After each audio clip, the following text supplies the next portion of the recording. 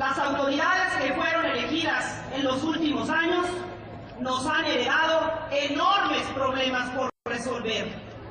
Hay deudas económicas por saldar. No permitiremos que se repita la negra historia de excesos y corrupción en la administración pública. No permitiremos que se repita la negra historia de excesos y corrupción en la administración pública.